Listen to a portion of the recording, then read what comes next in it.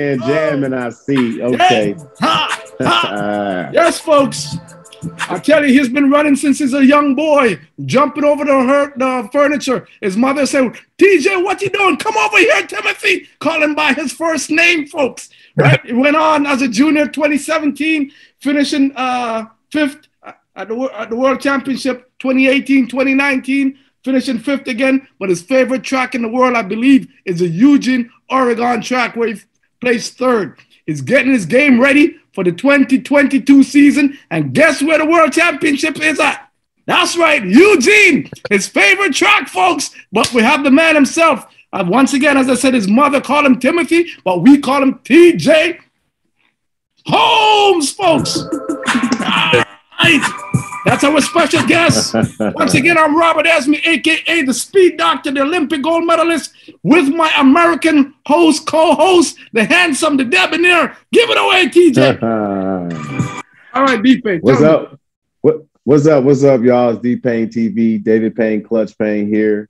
Uh, here with another great athlete, TJ Holmes, and we're just here to see what's going on with him and see if he, he could tell us our story and give us a little feedback on all his his encouragement for track and field athletes. Yes. What's up, everybody? I'm TJ Holmes. Like they were telling you, well, they didn't say I was from St. Petersburg, Florida. Uh, yes, I've been top five in the world in the 400 meter hurdles at the 2017 World Championships in London and the 2019 World Championships in Doha. I am also a model for Nike. I was the face of the Sun Glass line. It's called Nike vision. So uh, if you go on Instagram, and I was on the website. I've also been on the website for uh, the sportswear, and I was a professional athlete for Nike.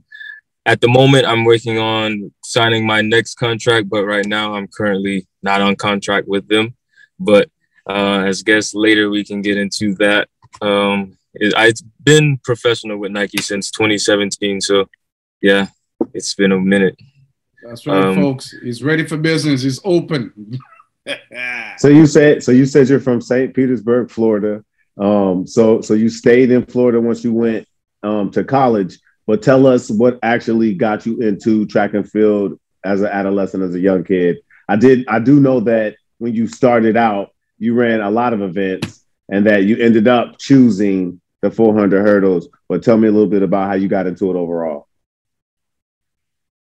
Okay, yes. Um, my dad started me in track at four years old. I was adopted at four. So my adoptive dad, he signed me up for everything. He wanted me to be great in all sports.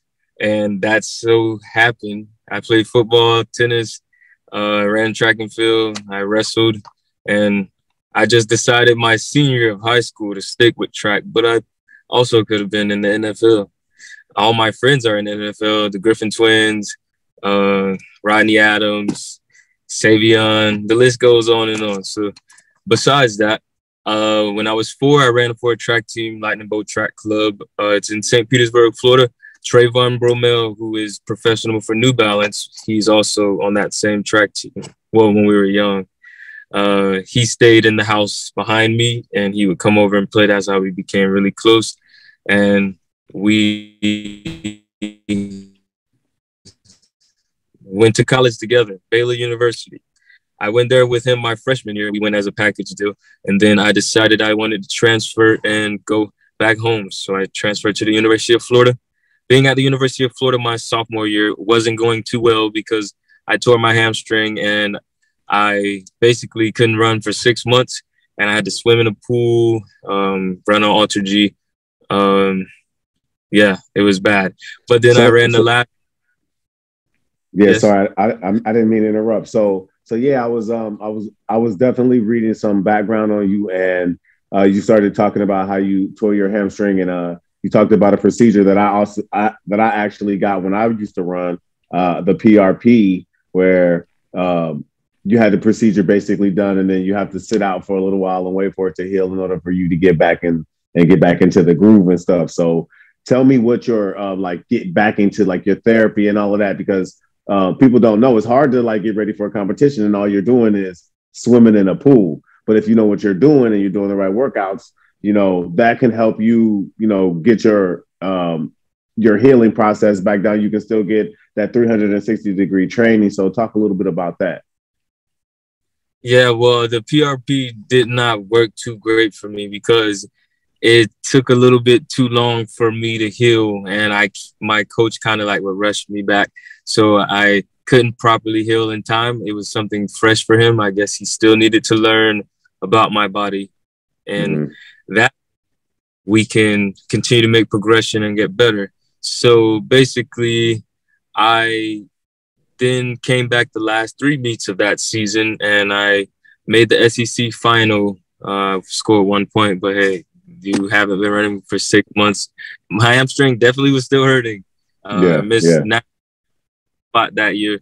It was bad, and I was upset because the previous year I went to nationals and I was the only freshman in the final, and I got fourth. So I was expecting to continue to make progression, which I eventually did my junior year when I got second at nationals to my teammate Eric Futch. But and we won the national championship. So that was another great thing on top of that. But I also did get injured that year. So I was injured for seven years at the University of Florida.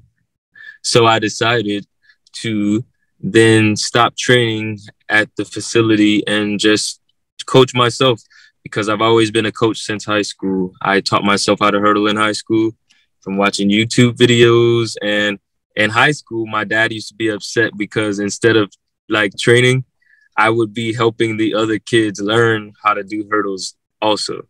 So I've been doing that, and now I'm the head coach at PK Yonge, which is a school connected with University of Florida. So I work nice. for UF. So soon, I will have a lot of professional athletes. They're young, but they run like grown men and women. I guess it's the IMG of Gainesville as far as track. right. Nice. That's nice. That's nice you know, I know a lot of the fans when you said you you, you grew up uh, with Trayvon. The question they want to know is, did you ever beat him once in anything? well, actually, me and Trayvon used to run with each other a lot in practice because I was better at the endurance events and he was quicker, but I wasn't too far behind. I just didn't have the proper mechanics at the time because I also ran the 800. So you know, 800 runners usually run with tight arms and they kind of cross the body a little bit. But eventually, I taught myself how to continue to push my arms all the way back past my glutes, so that way I can keep my stride open all the way and not waste any motion. So it allows me to be more powerful. So I think, well, I don't think, I know I will go back to doing more sprinting events because I was a sprinter before I was a hurdler. I didn't start hurdles until my sophomore year of high school. I used to run the 4x1, 100, 200, 4x4. And then my dad put me in the 800 to have me get stronger. But my mechanics are definitely much better. And I know for a fact I could run fast in the sprint event. Coach Holloway, one day while we were training, I was coming out of the blocks and I was running around the turn and I looked pretty good because he came back and said, "Don't ask me about running the 200. You're not running the 200." right, right. How, how amazing is that to be able to train with such high level athletes such as Holloway and those guys to have yeah. training partners like that? Very training at the University of Florida. We had a lot of great athletes. Um, I wish most of them would have stuck around and continued to push and train, even though they also dealt with injuries, but they could have still fought back and came back. And but I mean, it takes some people a while, or they have to be with the right people 24 7 so they don't completely give up. Most of them could make a comeback, but everyone was hard, uh, strong minded. And then eventually they just kind of died off. Some of them had kids as well. but there's a lot of Olympians that have had kids and then they come back and still get more medals. So, hey, Gators, come back out. yes, I do love the yeah, Gators. exactly. Uh, I put yeah, exactly. some barbecue and some hot sauce when I'm, when, I'm when you go ahead, DP, hit him with it. Hit him with it. Yeah, so so I've actually watched you a lot um, run in in several races. So uh, tell me a little bit about how it felt to run at uh, London. Give me give me your impression and, and how it felt. Yes, I definitely enjoyed London. Um, ever since I was a kid, I would always, of course, not mock the accent, but mock the accent.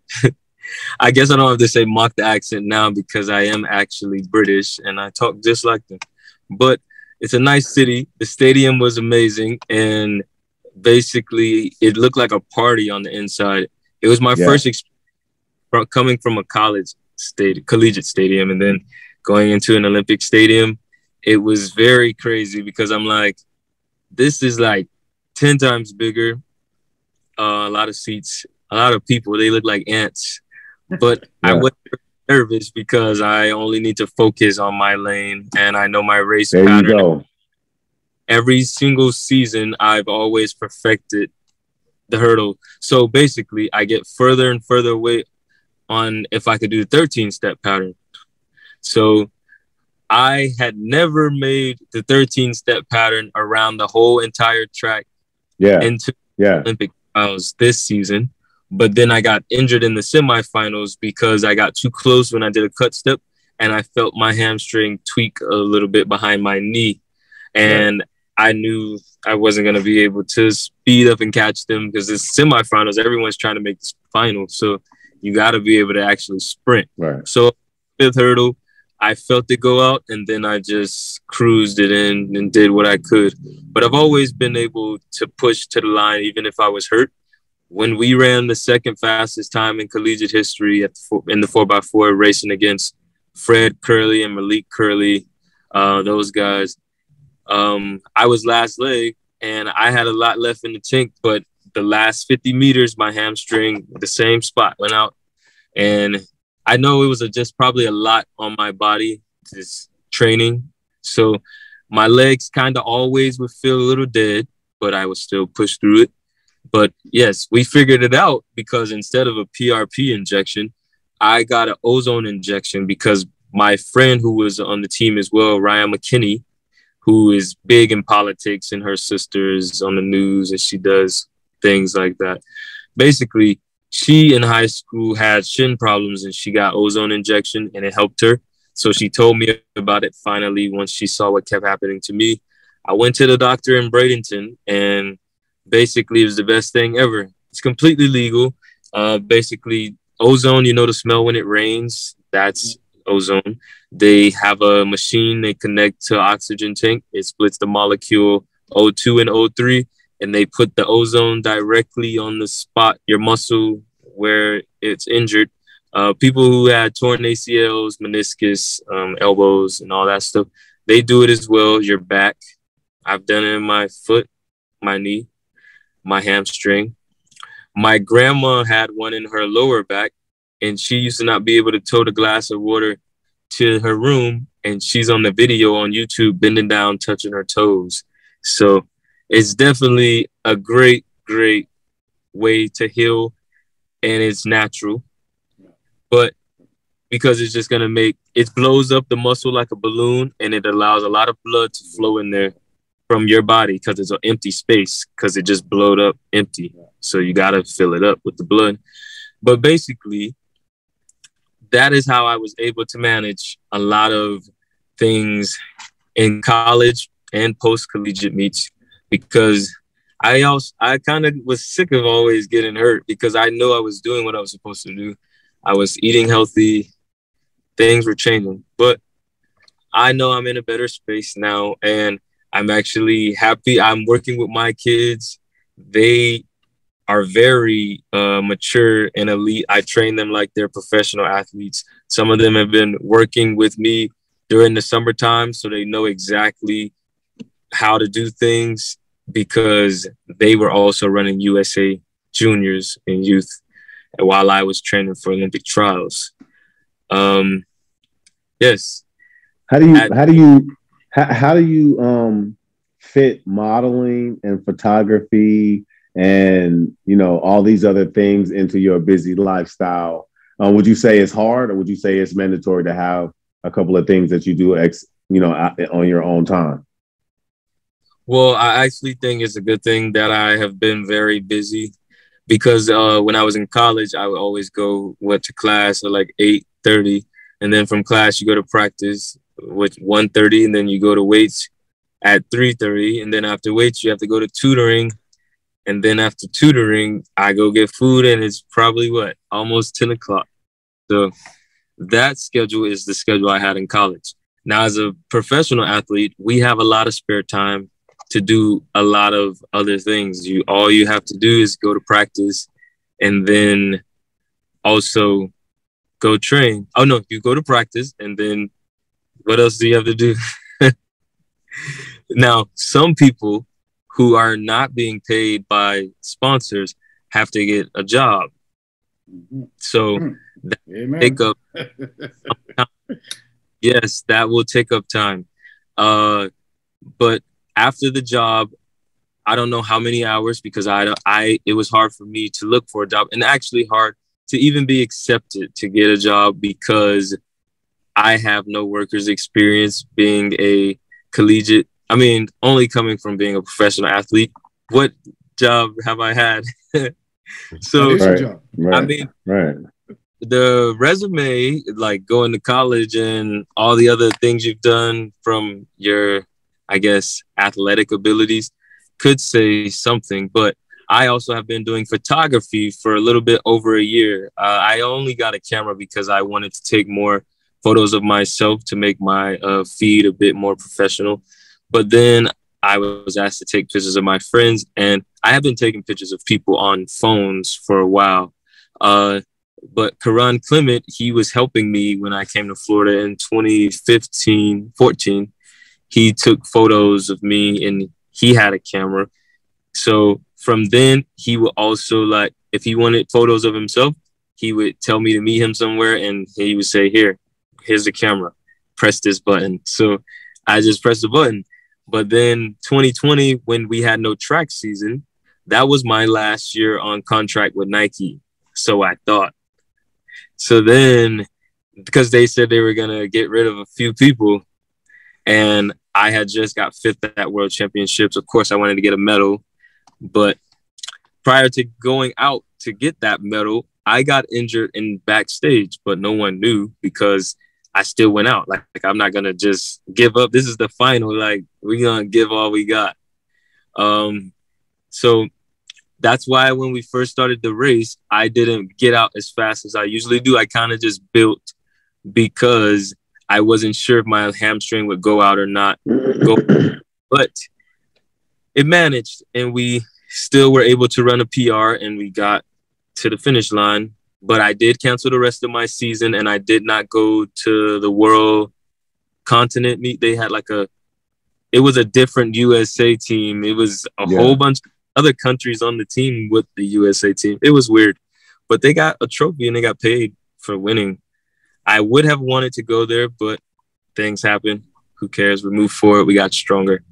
Now, well, let me just tell you. Let me just tell you that you can be an unattached athlete and still do well and make a lot of money. They, I, I did it myself. So it also is inspiration for you to keep your head down, keep grinding. When you finally look up, you're well past them paying you. You know what I'm saying? Like people don't know that um, you may not have a sponsor, but you're running all to these meets, you're flying all over the world, and it seems nice, but you're still trying to be on the line and focus on what you're doing at hand, these races here and there, your competition, and in the background, at the same time, still trying to get an endorsement. So there are a lot of things that go into these races, but I will say that uh, majority of people who became the greatest ran without contracts, and people kick themselves in the ass when they realize that they passed them up. So just continue to keep doing what you're doing for sure. Yeah, no, I'm gonna continue to keep pushing, but it just is bad when the company that you started with and you've done so much for, how things take a turn. Because, well, firstly, my foot was um, messed up badly in 2019. My bone under the spike. Um, I would keep mentioning it to Coach Holloway, and it got worse over time because we kept smashing it over the hurdle. That's my trail leg, so I'm gonna really push down extremely hard over the top. So from there, um, I needed some type of pad. I tried like at the World Championships, they put these little donut uh, foam pads under my spike to try to make cushion because it was so bad, felt like it was cracked or something. I knew something was wrong, but I just kept running each and every day. And I kept saying it, it was something wrong, but I would just put the donut pads under there. So pressure point. Yeah, right under the like if this was my head. right? The, the that was my big toe. Yeah, it was my uh, yeah. sesamoid bone. Okay. So I so Nike had released these spikes. They were um Zoom Victory spikes, and they were black and green, and they had a foam uh pad in there. So I tried the spikes out because we were only training in the grass. So when I was training in the grass, I was sprinting extremely fast. I looked a sprinter. My knees were coming up. My mechanics had changed. This was in 2020. So then we finally went to go train on a track. We were being safe because of COVID. So then we went to a track. We went to the track, the shoes that I have been using, I use on the track, and the bubble flattened. I guess I was pushing down so hard, putting a lot of force. So I since I have been um, helping Nike create shoes in the past, and all the designs that I had helped them with, the shoes had released and for sale to the market. So basically, the um, green and black shoe it popped, and I send a picture to the Nike uh, shoe rep, and I let him see. I'm like, I need a new spike. I like the spike, but I don't think it's all the way done. Um, it needs a bit more cushion around the top of it because it's a little flimsy. The material needs to be a bit thicker. And I said the plate underneath the bottom needs to be all the way to the hill because it is too soft. It didn't feel right. It felt like a trainer, like a waffle or something, because the bottom of it didn't have a plate. So I was like, that plate needs to be a lot harder, firmer. So every week they would send a new shoe. And basically, this is my shoe I train in. And I created this spike because it was helping fix my foot. And then they started letting other athletes try out the final prototype that I created. And now that's why they have the Zoom Max Fly. But oh. I Fly Pierre's because Fly Precision Airs. That's what I wanted it to call. Hey, Nike, thank you Call for the, experience. Call the homes, baby. Now That's here's awesome. a critique. That's this awesome. is the critique question. The critique question of the day. I love help people. Um, I do workshops all over the world, and I have an opportunity to be in comfort of my own home and help people, especially the athletes who want to make it to the next level. From what I've heard so far, you're very passionate of helping others. Where did that passion come from, and why did you want to help others? Well, I kind of always been that way because of how I was raised. My parents always made sure I wasn't selfish like with all my friends, they would come around, they would take things from me to give to my friends just so I can know it's okay to share. And also from being connected closely to God, I know the right thing to do is be generous and want the best for everyone and help each other out instead of fighting and starting unnecessary problems. So that is why I'm the way I am now. I am humble. I am ready to start winning again. Um, I know for a fact that that is going to happen. I am healthy. I haven't been injured all fall. Usually, I would have some type of injury by now. Um, so I'm ready to get back on the track. There will be a lot of everything. I plan to uh, get PRs in all the events that I have done since I was a child. Before I retire, I'm gonna have to make sure that happens. So we're gonna run everything. We're not limiting. Let's go. Definitely, if you need a, a critique by uh, D Payne as a hurdle specialist, I promise he will give you a free one uh, and help break okay. down the mechanics for you. All right. Any of other course. questions for him, uh, DP?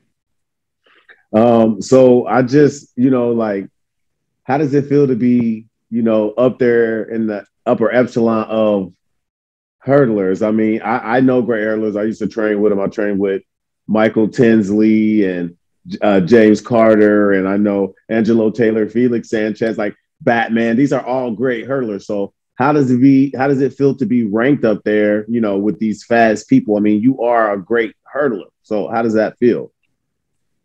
Uh, yes. Thank you for the kind words. Uh, it feels great.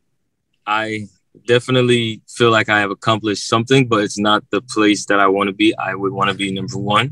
I know that's going to come someday, so I'm not going to be selfish. So I'm always grateful, and I always tell God I'm doing this for Him. So whatever place I get, that is fine. Um, basically, when I first signed with Nike, I wasn't um, getting paid. I didn't leave my contract until September. Sometimes takes them quite a, lo- little minute to actually get things in order so you can receive your contract money. But me coming from college, the amount that I received, that's like, oh wow, like okay, that's a good amount because running now I can get bonus money when I go to the diamond leagues and then I start running certain times, getting certain places, which happened. So I was able to make about six figures the first year I was on the circuit in 2018. And then once again in 2019, I did well again. So I was up there once more. Now, 2020, the contract did not go up too much, and all the money that I received in the past, the expenses were, you know, much, much. Money going out, so taxes, taxes, baby, not, taxes. going out, baby. not enough coming in. Welcome to athletics. oh, Facts. so the brand 4HGU for his glory utility, the clothing brand I started. It has uh, streetwear, swimwear, fitness, yoga, winter wear. Uh, we're getting adornments, and we also have eyewear shades. Basically, I received a PPP loan. Um, it wasn't for much, but it was for enough for me to start the clothing business. And that's when I did that and started working with the models because I had a camera. So I would have models take photos in my clothing. And now we have contracts with them to where they started performing in a show and I would teach them how to become models and I would help them take photos. I would teach them how to walk and also dance. So it's a theatrical fashion performance. It includes models, dancers, and actors. I teach them how to act as well, and I record everything. And soon the film will be released. Um, there's multiple episodes. I've had like a secret TV show for a couple of years now. It's uh, running it with T. So, yeah. Uh, That's awesome, man everything I've That's been awesome. doing. That's right, baby. Shine yeah, keep it up, man, for sure, for sure. And where do your fans find you? Your clothing, your clothing brand was your website. Yeah, how, how do they follow you? You said, how is it going? No, how do they find you? Your fans, uh, website for your clothing uh, and, and different stuff. Uh, yeah, uh, 4hgu.com, but I'm changing the domain and everything will be back up and running because I have to upload all the new models that I recently did a shoot with. We did a studio shoot and they had on editorial clothes and streetwear clothes. So I have to add them to the web page. I don't want to just be in a quick hurry and just release everything all at once. I want to make sure everything is picture perfect so there's no mishaps. And yeah, I'm going to make sure everything looks nice. I need to add videos. But yeah, it's going well. Payne's a good model. He's six something, you know. Pain got that look. He got that swag. Oh man. You're funny. well, if you're yeah. hiring, give give me a call. yeah. You look like you have on a hoodie. No, just pick the hoodie up, grab the top. Yeah, right yeah, yeah. All right, just like so that. Once again, guys, you're listening to the Olympic Digest. Like, share, post, all of that stuff. We're with the man himself. Uh, my vision that I see for him is going to get at least top three at the World Championships in Eugene, where it all started. He may end up with a gold, but the worst I see is a bronze medal. To where that's where he started his international career, and it's going to be part of this pinnacle uh, in his build-up. So expect him to pull off a bronze medal at least. I said it first. DP, I said it first. There's no heats, there's no rounds. It came from me first. Wait, wait. We already got a bronze at already got a bronze at World Juniors. Now. We can't. I know. That's why I said. No, no. I'm saying at the world, the big boy stuff now. That's the junior. I, this is the big boy where it all started. So I expect minimum bronze because it's your favorite track. Gotcha. Well, first of Nike, all, don't get, forget your next door Nike. we getting yes. gold all day because we team USA. No,